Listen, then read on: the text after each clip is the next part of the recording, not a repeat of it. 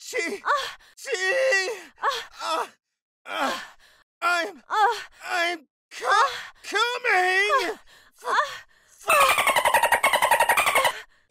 what? Goku, who taught you to say that? Uh, uh,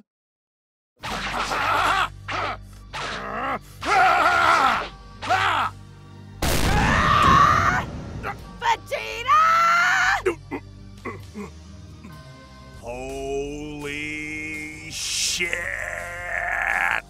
It looks like Chi Chi's laying down the law on Vegeta.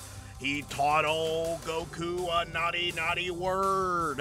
And you know what happens when you teach Goku naughty, naughty words? They get used. Incorrectly, I might add, every once in a while. Need I remind you all about the Saggy incident? Don't worry, Bulma won't shut up about it.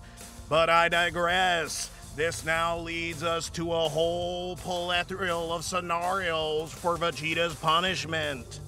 Vegeta, it's safe to say that your Dragon Balls are gonna get confiscated.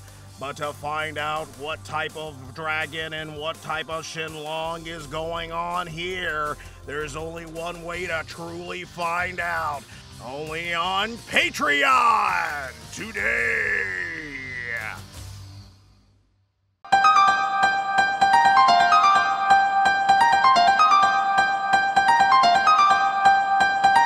Are you feeling angry, humiliated?